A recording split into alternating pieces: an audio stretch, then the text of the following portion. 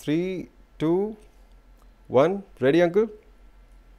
Yeah, Okay, we are rolling, Uncle. How are you we're doing? rolling. Happy to see I'm you. good. Hey, happy to see you. What is Yeah, what is happening I like your the? new look. You're liking the look? Thank you so much. Yeah, yeah. Great, great. Yeah. How has the me. lockdown been for you? Are you uh, you just mentioned right before we started recording that you've been reflecting a lot. What what kind of things are you discovering about yourself at the moment? Oh, a lot of things. Yeah, that I'm. Some I'm keeping, some I'm rejecting. Like what? What what's the latest highlight of of something that you are uh, looking at? Oh, making music. Yeah, that's what I do. Yeah, and uh, writing things. In fact, I'm writing a book. Oh wow. What's it about? Uh, uh,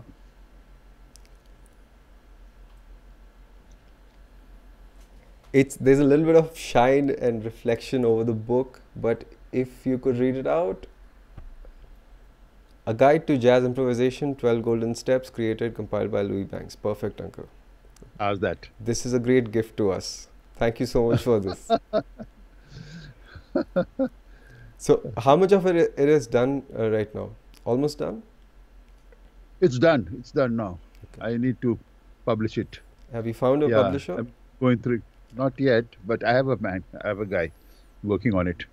Great. Yeah. So this is one of the things, of course, and then writing music. Thank goodness Gino's around, so we are making a lot of music together. Mm. Yeah. Lot of time to do things actually. Yeah, creating stuff. Yeah. Only what I miss is the live playing, you know, with an audience in front of you. Mm. I miss that very much. I miss that very much. Because it's not the same thing That's right. playing online, like uh, you don't see the audience. Yeah. Yeah. So it's not the same vibe at all. So, Yeah. you know, thinking about, uh, or rather talking about this live thing, people being in front of you and uh, recording uh, something, not even recording, just performing. But you come from a time when you have recorded albums while you were playing live. Like uh, your time in Calcutta, 1978, with Braz uh, Gonsalves and Pam, uh, Pam. Pam Crain. You released an album, yeah, yeah. Explorations, and it's all happening then and there. It's a live recording, I know. which which doesn't happen right now, which is something that uh, we do release singles, we do release two three songs, yeah. but how was that experience when you were playing a gig and you know it's being recorded and tomorrow it's going to be printed and it's going to be sold? What were you going through at that moment and how much were you preparing for it? Not really, except getting the material ready hmm with the boys, and uh, and then not thinking about the recording at all. Mm. Just playing the music. So um, your rehearsals were essentially because um, you spent tons and tons of years playing in different residencies, the Blue Fox, Fox Hotel, Hindustan Hotel, and you were already seasoned. And when this moment comes for a musician like you, you already have played it so many number of times that you're not even thinking of the recording altogether, right? Absolutely, absolutely. Those were great times, you know. Playing every night Mm-hmm. is a great thing. It's a great thing for musicians, really. Yeah, to hone your skills. Yeah, to correct what you were doing wrong and things like that. I mean, the whole feeling, the vibe, and everything is. I mean, nothing can replace it. Really. Yeah, I miss that. Right now when uh, like i wasn't so much exposed to that time of music until you know Mm. i decided to have a word with you then i went deeper into that era and it almost feels like a downfall right now because the level of musicianship and the horn sections i heard from 78 and time around that Uh huh. it was a beautiful thing to listen to and uh, Right. how much do you think there is a need for places where musicians can get residencies and get themselves seasoned like even if it's once a week kind of a situation Uh, it'd be great, but it's not happening. What Hmm. to do? Yeah, but once this lockdown, I mean, lifts and everything is unlocked and we're back to normal, hopefully things get better. Yeah. And hopefully we'll push for live things happening everywhere. Yeah, in clubs, in different outlets, and then hopefully then on concert stage. Yeah. Believe you've seen decades and decades of music industry shift and change. There's uh, one thing I wondered is when was this switch exactly that the live bands who were always there, who had a regular job at the hotels, when did that switch happen from not having li- live bands to something else? When was that time exactly? And what was the reason behind it that they stopped having uh, live bands altogether? I don't know really because I myself uh, started doing, getting into the recording business. And then uh, then the live playing slowly, slowly diminished. Uh, though I tried to keep it up, but uh, it got, got, to a point where I couldn't do both things. It was right. too strenuous. I mean, recording all day and then playing in the night, recording all day, playing in the night. Yeah, that happened for some time. Uh, this was, uh, I'm talking about Bombay when I came to Bombay, mm-hmm. when I was recording with R.D. Burman and all that. Uh, and then when I was doing jingles and stuff like that, yeah, because my day was full with recording, mm-hmm. and then rushed home, got into some nice dinner jacket and, and ready to go again. and went ready to go to the nightclub and do the thing at the nightclub. Yeah, it's great, but it's very strenuous, very strenuous. But gone and done that. So, do you think when uh, DJs were introduced or music that could be played off CDs or whatever, that was the turning point for musicians to be not present? In some ways, yes. In some ways, definitely yes. And the, when the the pop sing scene, the pop scene, commercial mm-hmm. music, yeah, disco music, that uh, started becoming very popular with the young crowd, and they love to dance to all that stuff. Slowly, slowly, the live music scene deteriorated. Yeah, definitely, that's one of the biggest causes. Yeah, so I would say after the 70s, the 80s, I think it came on strong, and and then the uh, owners of all these outlets realized, hey, we don't have to pay for the band so much mm. money yeah, when we can just keep one guy, a DJ, and get play all the music, and the crowd comes in. So that was definitely yeah. But were these the same people who experienced sets like you were playing sets where you were playing uh, swing sets and people were dancing to live swing music or live disco music? Were these the same people who switched to that DJ thing? No, no, not really, not really. Barring a few, I guess, yeah. Uh, yeah, it was uh, a different kind of a crowd, mostly the young crowd, hmm. absolutely. Mm. Not the plus 40, yeah. And that generation never got to experience that whole uh, horn section getting into Absolutely. your body, into your bones, and shaking the hell out of you, and then you dance to Absolutely. that. Absolutely, absolutely. They missed all that, and that's why I have the youngsters, barring a few, of course, serious minded guys. The rest uh, don't bother about, yeah, the stuff that we really play. We like to play the serious stuff of music, good music, really. Yeah, that comes from the heart, original music and all that. What to do? How to get this back on track? Do you think exposing people to this whole, uh, specifically, you know, orchestration of of uh, of something that shakes the air, not not uh, sounds that we produce from a backing track or something like that. Do you think uh-huh. that can bring the whole thing back where once they experience a horn section, once they experience a big band, they they would like to go to that again and again. Let's say there's a club which says that we're going to have a horn section from tomorrow, we're going to have a piano player, a string section, and they're all going to play back to back gigs for a week, for two weeks. What do you think it can lead to? Can it lead oh, to a change, you think? Definitely. but then we got to have a good horn section probably to back that up, which we are sorely lacking in India. Mm, That's true. Really, I Yeah. mean, that's now, why the people, the musicians, are not getting into horns Mm, because they don't they see don't see an opening for it. They're always in they're into keyboards, drums, bass, guitar. That's about all.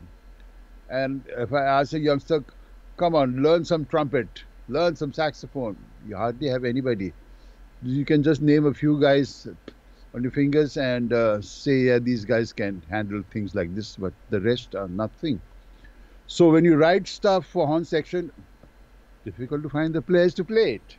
mm, I've written so much stuff, some very challenging and all that, but where are the people to play it? Where are the musicians to play it? So the lineage. I miss that. I miss that lot. I miss that very much. So I'm sending out my music abroad Right. because you know the horn sections abroad. Oh God, Yeah. absolutely brilliant. Yeah, Right. we're not learning from them really. But but that's what was fascinating to me when I was digging into your older albums, when I was listening to the horn sec- sections that were playing in Calcutta. I can't say, I can't even say that it's it's done in India. It is so good. It is so perfect. That's why I was talking to you in the beginning and saying that it almost seems like a downgrade. Now we're talking about the horn players not being there to play all that music. Yeah. But but also I you know I experienced I don't know if you have uh, uh, attended. Reese has been writing a lot of material. Uh, Fankulos has been writing a lot of material, and uh, it's kind of this reintroduction to having a four-piece horn section. There's a trumpet, there's tenor, there's alto, and uh, I Reese is playing something else as well. But um, that does drive people. I'm I'm seeing that happen. That it there is something extremely fascinating about the whole experience that people are, are getting out of it. I feel that yes, if there's enough players to do all that job, it'll be very nice. Do It'll you think? great. Do, do you think it's a com- if you compare the two, if you compare trying to play a bunch of notes on trumpet and compare trying to play a bunch of notes on guitar or piano, the reward is quicker on guitar and piano. That's why this whole change is happening. That people want to get some gratification sooner. I guess so. Yeah, I guess so. Yeah, yeah, you might be right. Yeah, horn So- sections. Yeah. Oh God. Hmm. I'm doing horn sections on the keyboard. Can you believe it? Yeah, yes, I I hear that. I hear that often. Yeah. Because I can't get guys and yeah, guys to come over and then play the thing. Though I'm trying, I'm trying, I'm trying very much. And I heard a few horn players here and there uh, who have the potential, I think. Mm. Uh, but you have to give them some challenging material that I haven't really tried, except for Rees and Shirish Malhotra. Yeah, Yeah, yeah. these guys can handle that. And there are a few other youngsters who are picking it up, and I'm en- encouraging them. Mm. And hopefully, yeah, the tribe will increase. That's great. So, also, uh, you know, I've wondered and wanted to talk to you about this that when I talk to somebody like you, or I talk to Gino, or even Sheldon for that matter, when you people grew up, there was this whole ocean of music around all of you that you were listening to, you had the environment, and you had, uh, you know, somebody to ask what do I listen to next? What is this music? What's going on? Like your dad played trumpet. For Gino, you were already Yeah. there and you could guide him that, hey, listen to Herbie now. Check Dave Weckl out. Uh. Check this out, that out. So it brings a certain pace and certain um, environment to your, uh, your progress as a musician. What happens is there are people like me. Like there's there's no music in my family as such. I'm Mhm. uh, my roots are from Punjab. My dad is as Punjabi as it can get. So I didn't listen Uh. to Beatles un- until six years ago. That's the kind of story I am coming from. But when Uh, I talk to somebody, I'll, they'll tell me that they've been listening to the Beatles since they were six. So now what happens is And I, what I wanted to ask you that in a case where somebody chooses to do his or start his musical journey at the age of 21, 22, whatever, and that's the first time he starts stepping into this territory. What is it that can help him to come to a place where he can he can does he make a choice consciously to sink himself into an environment where he finds a mentor like you or Gino or somebody else, starts hanging with them. What is your advice to people like that who did not grow in musical environments or are not a part of any kind of a generation of music? At 21 is the guy playing, Mm-hmm. Or he's just learning the instrument, or he's, He's already playing it Mm-hmm. in a professional capacity. Is he? Uh, let's let's assume uh, he is. Yes, let's say Yeah. he is playing. Ah. Then we'll come to if he's not playing. Then I would like Then to know I both would- perspectives. then I would advise him to listen to music that Mm. has horns.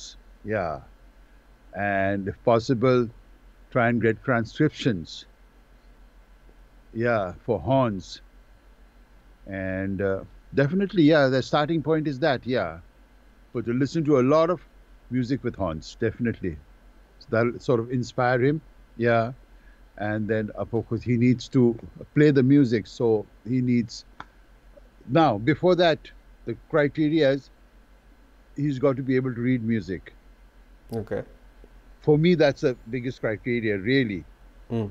Learn to read music, of course. So, take, taking that he knows music and he can read music, to listen to music and to get transcriptions of horn parts, and then find people he can sit in with, Mhm. and then come to people like me to Mhm. jam jam with yeah then he'll start growing definitely definitely How do you i'm compare? looking for people like that hey send them to me no, I will. I was just Send generally asking me. as overall Really? overall a musician, not just horn players. But I I get. I think uh, I get your point. My also the other thing I want you to um, talk about is that there is this whole going to a music school and then you know some miracle is going to happen after a music school gets over or after one finishes their grades or something like that. What is your take on mentorship versus going to a music school? What can make an individual grow faster give them real um, life experiences? So what's your take on that? Should one choose mentorship or should one choose going to a music school? Either actually yeah hmm, uh, going to a music school is great actually. Really great because the the learning thing is graded yeah and uh, you have to get serious about it and your growth will be very nicely graded and uh, the, the the development will be very smooth and uh, and then you fall into kind of a routine and practice that will help you and then the whole uh, interaction with other musicians will start happening. Uh, so it's very good like that. Yeah it's very helpful. Yeah. I didn't go to music school. Yes. I went to a mentor and my father was there. We were lucky like that.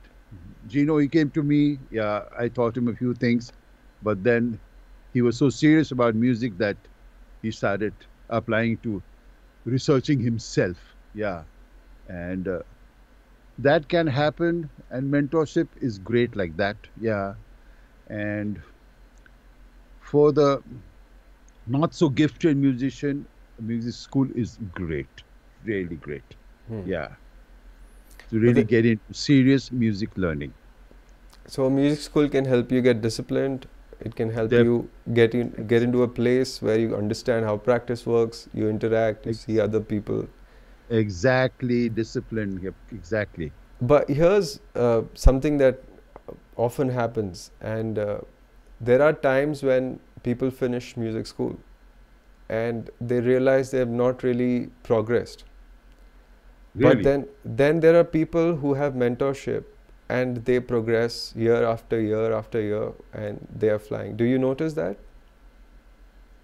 Uh, not really, but uh, I get your point. Yeah, okay, mentorship is really more it's more concentrated. Yeah, and then uh, you get to see the master who you're learning from, and there's so many things that that you find in that that is very different from a school. Yeah, and uh, maybe your development is better in that way, in that sense. Yeah, definitely. Yeah, and you get inspired, like the Mm. inspiration of your mentor and your master. Yeah. So And the next thing is, of course, if you're a genius, then it's okay. Yeah, no problem. Then no school, no mentorship. You just you just wake up and you're good to play. yeah, I know. So, you uh, like Gino is extremely disciplined about work. His work ethic is very clear, and of course, when we are growing up, we are learning from our parents. That's the first exposure to the whole world. That's how we behave. When Gino was growing up, were you extremely disciplined, routine with your work all the time? Was it happening like clockwork, day in, day out? That's where he got this habit from that I have to be at work at 10 and finish at 6 or whatever it is. Yes, definitely. Yeah. I was disciplined like that. Yeah, and then I, of course, I learned that from my father. Definitely. Yeah, he was a very disciplined man, and uh, he taught everything. He got me started, and uh, he was a great musician to start with, and uh, he taught me the the basics, Mhm. and then I was lucky. At the early age of 13 he gave me a chance to sit in with his professional band. Hmm. these are experiences that many youngsters do not get. Yeah really. Hmm. yeah. And that helped me a great. Yeah because i had to sit in with musicians and try and play the music that they are playing. Hmm. so the development and the growth was faster for me like that and i learned a hell of a lot of things yeah doing it and uh, that helped That's interesting. So, there's one more thing, Uncle, which is, as I mentioned already, that you've seen decades of music industry change, this and that happen. There's one thing where musicians find themselves stuck a lot, which is uh, giving themselves a raise in terms of, let's say, asking for more money, even if they are in their regular band. And um, in fact, I was talking to Abhishek the other day, and he was only mentioning that this happens. I, I, if I play at a fixed rate for two years and ask for a raise, I might be called off the gig, and somebody else might be called in. So, musicians always have find themselves in a place where they say that I work very hard, but I don't get paid enough. In your case, you have built a whole empire, I would say. You have a family, you have your own house, you have a great career. Did you face challenges in terms of giving yourself raises, uh, quoting a certain price? How did you keep um, building your brand, keep charging more and more as time went by? yeah in the early days of course you took whatever you got yeah and and be happy about it but those were days those were the days that uh, you could live with a little Mm-hmm. now you need a little more to live well the days have changed of course times have changed Mm-hmm. but uh, what i was lucky like that uh, uh, when i started uh, playing professionally with my own band. And uh, of course i never demanded anything. I took whatever i got. Yeah and i was quite happy with it because i got a chance to work with these musicians and to create music that I wanted to create, original music most of the time, and even play uh, commercial music the way I wanted to play that. Yeah. So I was very happy to have a, guys around me who thought the same and were willing to learn and develop themselves and make themselves into better musicians and play challenging material and things like that. So that's gradually happened and that really started when I was in Nepal, of all the places. hmm Yeah, Kathmandu, Yes. where I got my f- first band together Mm. in a hotel. Yeah. For me, a youngster who had never got regular pay till then, and I get to form my own band and got a fair bit of money for it. Yeah. And that was great for me. Yeah. And uh, so I never really bothered about the money part. I was quite happy with whatever I got. But I was more concerned with developing my band Hmm. and developing my music. Hmm. Yeah. Uh, so that happened, and of course that happened for a couple of years and all that. Mhm. Then uh, I got an offer to come to Calcutta, where I got more money, Mhm. yeah, to form my own band. So it was a gradual, yeah, transition like that, uh, and. Uh, it all depends on the city that you are playing in and the, and the clientele that the outlet gets, uh, the club or whatever hotel, yeah, restaurant, yeah, and that depends. And then the band gets offered a certain amount, a certain fee, yeah, because on the on their this thing earnings, and uh, so it was a gradual process that uh, I was quite happy with that, yeah. But you were And then- focusing on uh, constantly building credibility as a good musician. Exactly, exactly. And the financial raise that you got was as a consequence of, of your credibility increasing, your musicianship increasing, you being able to do two things, three things, ten things, leading a band and everything. So all my years in Darjeeling, in Kathmandu, and Calcutta, all that, money was not the criteria at all. Mm.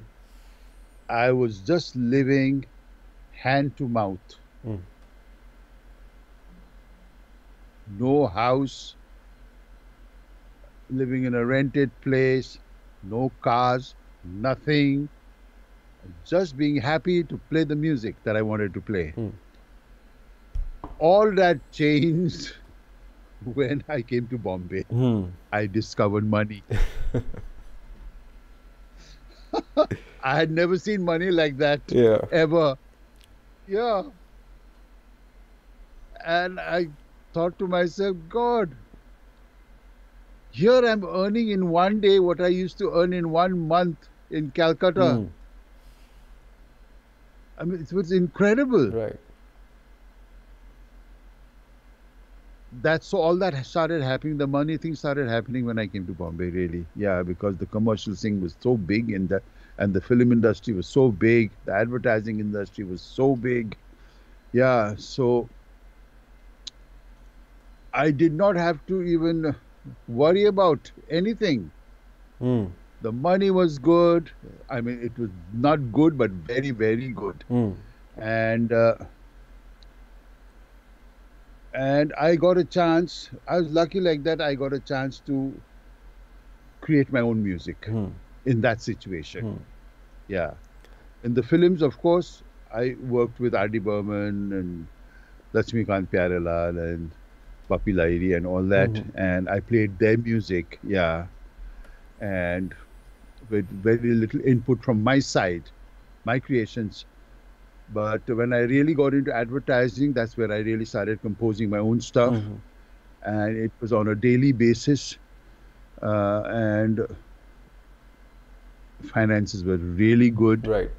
and the whole standard of living really went up Hmm.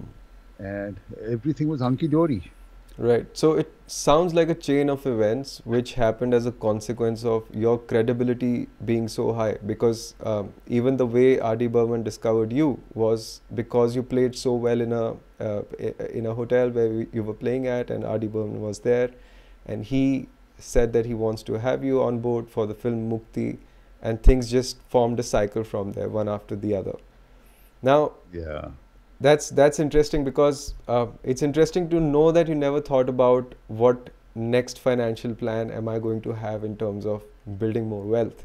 But I think the only thing you were focusing on was more and more music and how you can just develop this whole thing where music is just going for uh, the best possible. So you were you were writing your own music you mentioned and uh, Sangam is one of the things that when I hear it, I get goosebumps, um, and especially when when you write a song like City Lights, it's called right, which is 18 minutes long, about 18 minutes long. City life. City Life. Yeah.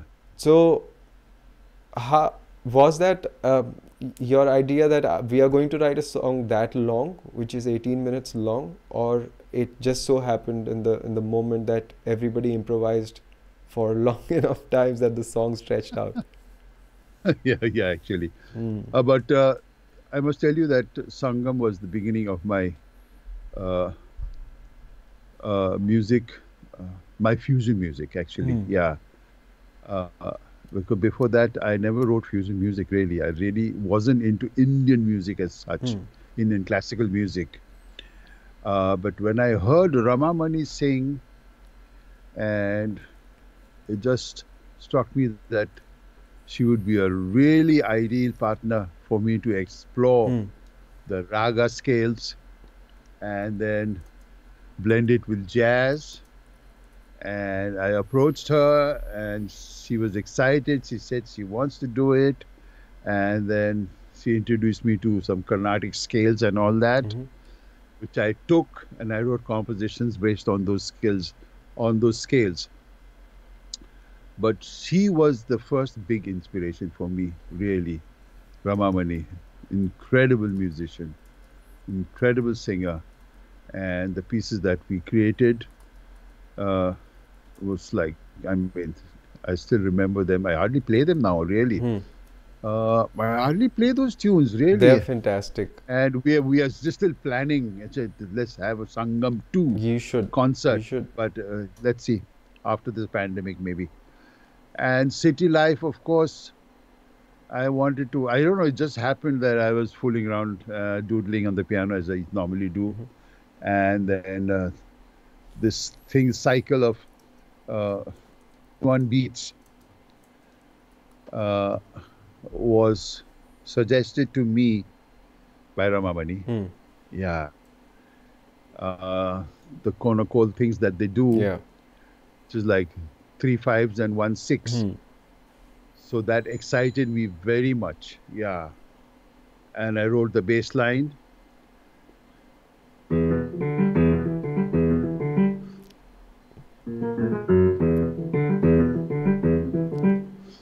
That kind of thing, Right. you know. and uh, uh, then I developed the melodies and then wrote different parts. Yeah. And there was, of course, in the beginning, there was uh, Braz Gonsalves, of course, definitely. They played all those parts. Did he actually on bass. at any moment play Bass. two horns together? Did he? Because there's a picture of him playing a tenor and alto together. Uh, yes, he did that? Not not with Sangam, Mm, but, but he, he- used to do that when he. Yeah, I know, amazing. I saw I saw him doing that. I saw him do that. Interesting. Yeah, So you were saying amazing. Was One of the best saxophonists uh, India has ever had. Really, agreed. 100%. Absolutely. Yeah, I mean, he was like Coltrane to me. Yeah. He had that kind of a sound and feel. Hmm. You know, he was a great lover of Coltrane's music. And he had that kind of sound and lines and all that uh, coming from Coltrane. Yeah, it's, Yeah, beautiful. Yeah. Most lyrical player. Yeah. So, and then I wrote this piece. I think it was the, the boys from Sangam say it was the most difficult piece they played, ever played. Yeah. What was, uh, Carl, especially, Carl, especially. to play on that bass, you know, oh, it was tough. It was not easy. what was Yeah. Ranjit uh, uh, Ranjit's reaction to this? He must have been really excited. He's very excited, and what a drummer! Yeah. Yeah. God, when I auditioned uh, uh, for bass player and drummer for the Sangam band, Hmm. and I heard Carl Peters. There's no question. Mhm. I said Carl Peters on bass, definitely. And when I heard Ranjit, wow! And I tested them on this on this tune only, Mhm. on this 21 City Life tune, Hmm. and Ranjit just got into it. Really amazing. And the way it goes into that bossa, that sudden hiccup that happens, that's mind-boggling. and it's tight. And then Rama Ramamani's inputs on it. Mhm. God. That's why it became so long, but it was our tour de force in all the concerts. Hmm. That was the last number that we played. Sometime it extended extended to half a half a mi- uh, half an hour, Wow. thirty minutes, Wow. And we most of the time we always got a standing ovation for this piece. Yeah, it was amazing. God, It is magical. Were you at this point of time listening to, uh, or were you inspired by Herbie Hancock's music that was coming out around that time? I, I used to listen to a lot of that. Yeah. So, Yeah. because it sounds like a lot of influences are there, definitely sound-wise, and it's kind of. He- He's my man, Herbie. Uh, Absolutely. I'm totally inspired by him. Yeah. he's, he's quite a guy. So when you're understanding a raga, when you're trying to learn a raga, you come from first you learn classical music, you learn classical piano, you spent your years with that. Then uh, you play jazz, and then there is this time when you realize I have to do film music, I have to understand how a rag works. Then you start writing inside ragas. Uh, you understand all the ragas because um, you write so much music in them, and you've composed uh, tunes like Mile Sur Mera, Mera Tumhara. What's your approach when you, as a Western musician, first time you heard that okay, I need to understand how this thing works? Do you remember what it was like to get getting introduced to a raga for the first time, and how you learned it I- and grasped? I must tell you that thing? I don't know much about Indian music and Indian ragas. Uh, what I, the way I use Indian ragas is the scales. Hmm. Yeah. I use the scales, and that gives me the flavor of Indian lines, and I develop lines out of that scale. Hmm. Beyond that, I don't know much about ragas and the connection of the scales. Correct. And I have never studied ragas. Mhm. I just get inspired by those scales. Right. Uh, So that's the way I use it then. Yeah. So basically, it restricts you in a certain set of notes, and then of course that set of notes is producing that specific emotion for you, and then you compose around it, and then things start happening around like absolutely in a magical manner. So my lines are very different from a way an Indian music Indian musician uses the raga. That's correct. And the way I use a raga scale is totally Yeah, different. you you see it as a scale because in Indian music, as we know, you I just see it as a yeah, scale. Yeah. you can't follow certain patterns to create a certain raga. You have to avoid certain notes and all that. But I understand what you're saying. It's a set of notes, and we harmonize the set of notes to create uh, another kind of emotion, basically. So yeah. you paint a lot. You have tons of paintings around your house, in your house, and uh, I wanted to ask how how it relates to your musical progress. Was it something you picked up before music, or was it something you eventually decided that I want to do something else, explore something else? No, painting has been with me since child, childhood. Hmm. I was interested in drawing right from school. I used to try and draw portraits of the actress Meena Kumari.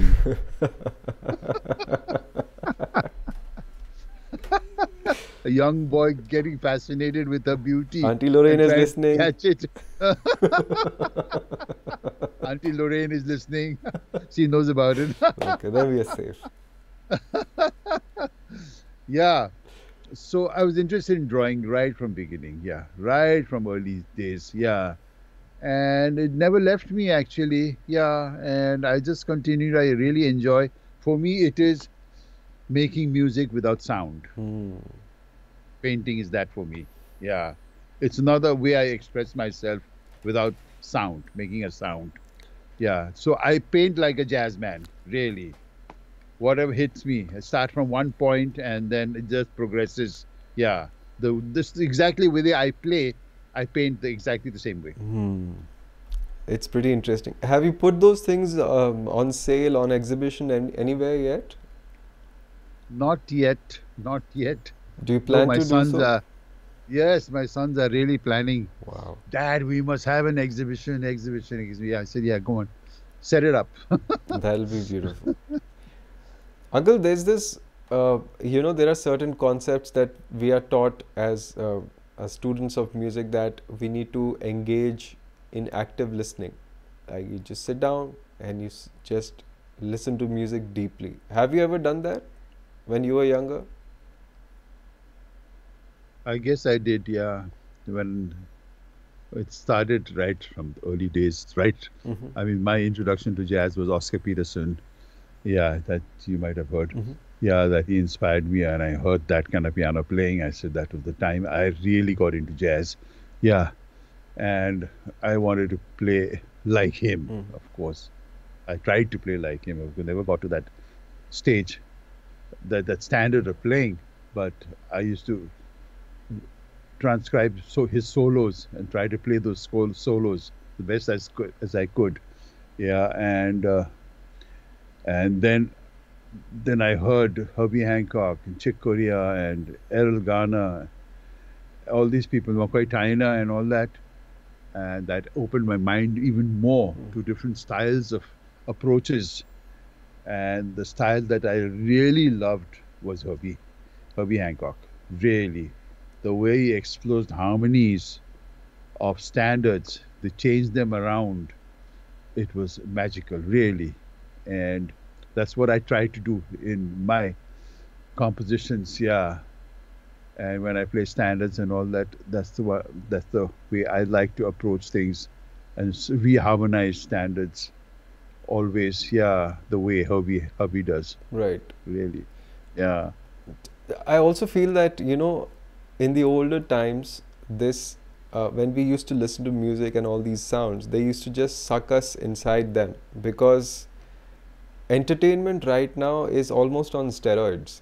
It's so much amplified, it's so hardcore, it's so colorful, it's so attractive that like when I listen to your other interviews, in them you talk about that we didn't have anything else to do we would just rehearse, we would play. We would come home and relax and we would play. But right now, the whole thing of we go home, we watch Netflix, then we get into binge watching, things like that keep happening. but uh, like the other day, somebody was asking me about this active listening thing. And it's kind of hard to attain at the moment because I don't know if the music or if music in itself is stimulating people the way it used to, like in the older times, because the forms of entertainment have evolved and they are so charged, they are so uh, uh, almost aggressive. Yesterday we saw a black and white movie called uh, uh, 12 uh, was 12 Angry Men.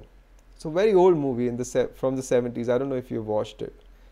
But No. the the beautiful part of it was there was not much music. There was the introduction music and there was the music in the end. That's about it. Rest of it, it was like a play. And there was in the beginning there was this jitteriness because we are used to you know airplanes flying around and bombs falling from here and there. But this this movie was like a big play that you watched, you sat down and just got yourself into. So in terms of active listening right now, uh, what is your take on it? Because people are not getting that that kind of a charge that you would hear Herbie Hancock. You like, what the hell is happening? Where is this sound coming from? How can one get into the routine of of a similar experience like you were entering into? I know it's very difficult now. It's very, yeah, it's very, very difficult now because so much music is happening that uh, really doesn't really help you in your own growth as a serious musician. Uh, the thing is, shut yourself out from this all this commercial things that is happening. Yeah, not all of it is bad. Some are good. Yeah, definitely there's a place for that music also it's entertainment yeah Yeah, but it's here today and it's gone tomorrow.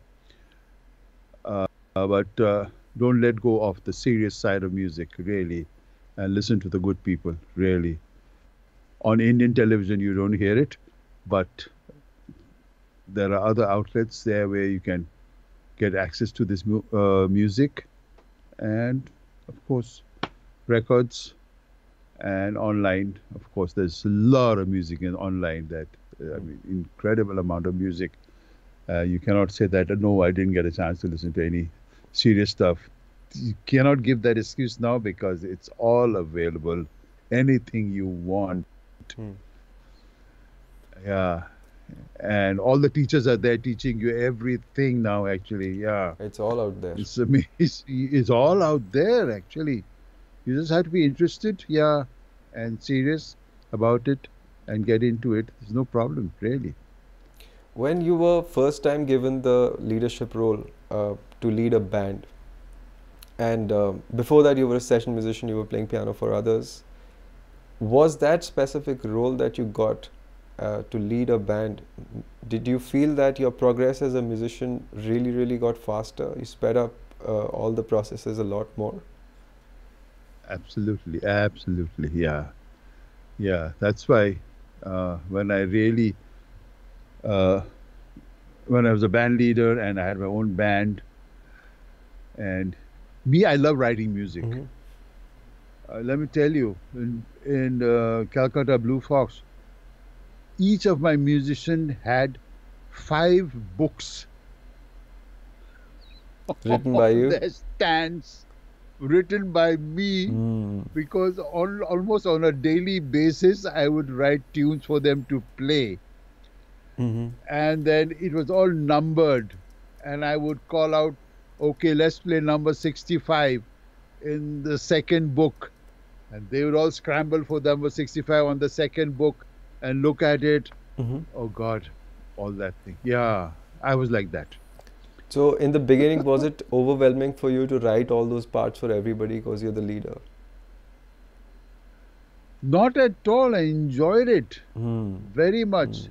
because I wanted to hear that music that I've written. Yeah. And I wanted to hear it from them and to hear how it sounded. Because that was the only way that time. It was not, there was no MIDI.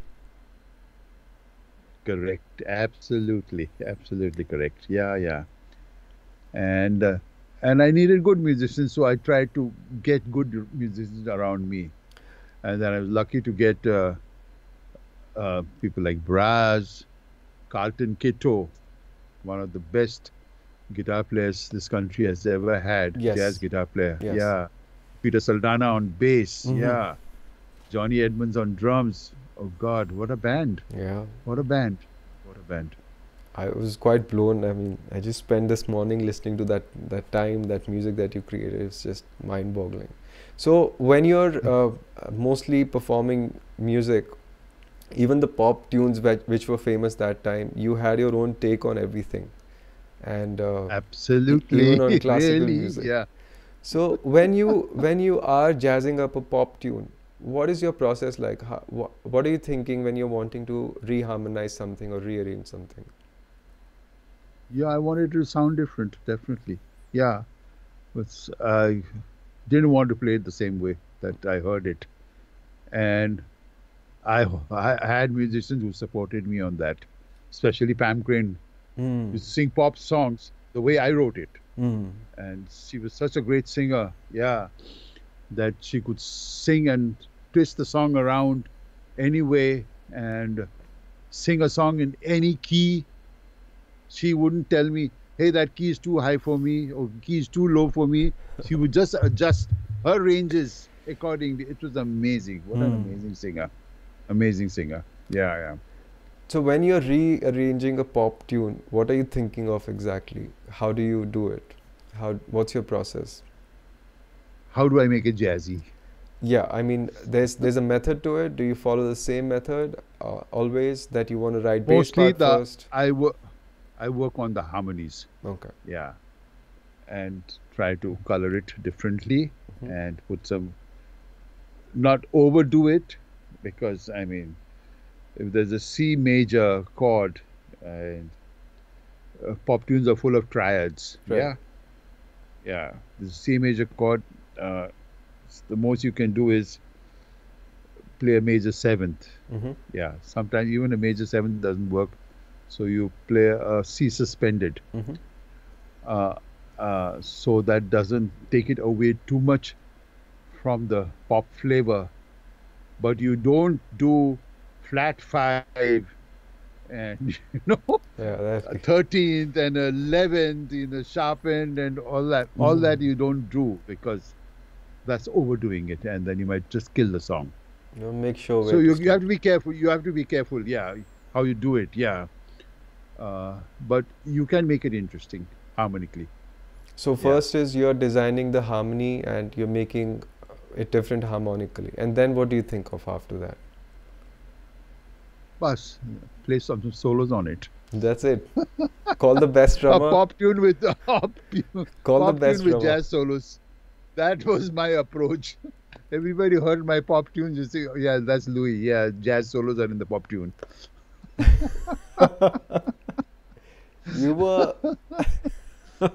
so how many times? Uh, I I know that once in one of your interviews, I don't remember which one, you were mentioning that you jazzed up a classical piece, and then the manager came and told you that hey, people are not able to understand what's going on. yes, I was in Kathmandu Soaltee Hotel. And uh, The manager, British manager, comes Ah. to me, Louiz. Uh, I like your playing, but the people cannot understand what you're playing. Try to keep it simple. it's interesting. Because I would take Chopin's preludes Mhm. and change it around. You know, that was like in the afternoon or afternoon sessions, we would take some of the simple pieces, uh, classical pieces, Chopin, Mozart, and all that. But I would change it around. Mhm.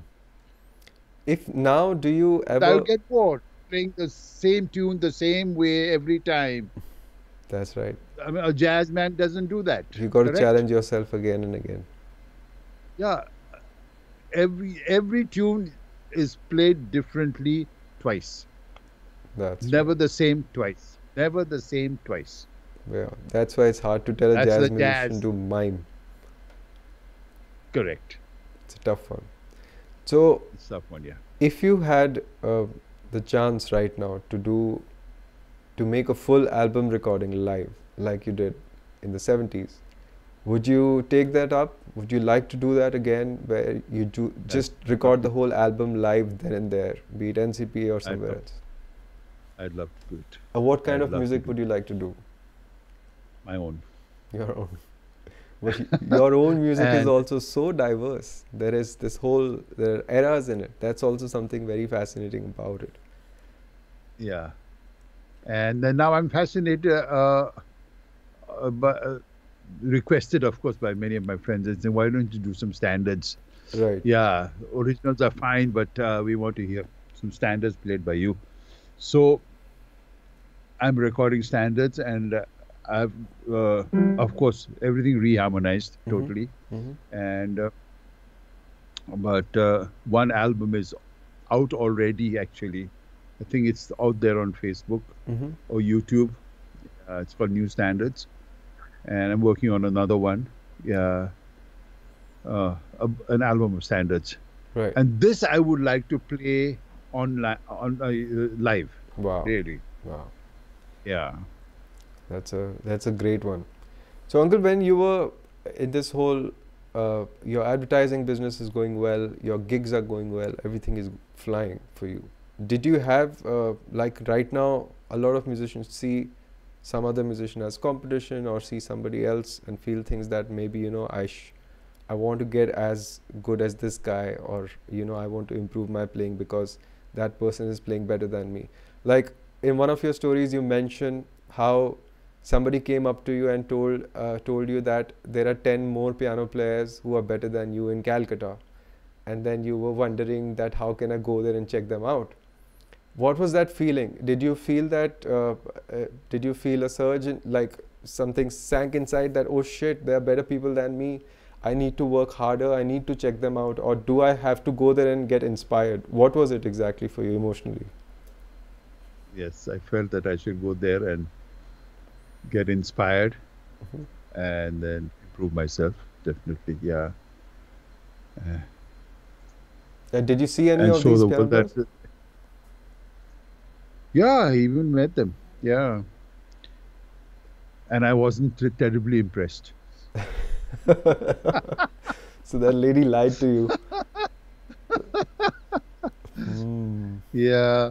And uh, Maybe she was sent by them. so. Whoever this person told But- you told you that there are better people Ah. there in Calcutta. But I always believe that uh, each musician has his own voice, really. Yeah, definitely.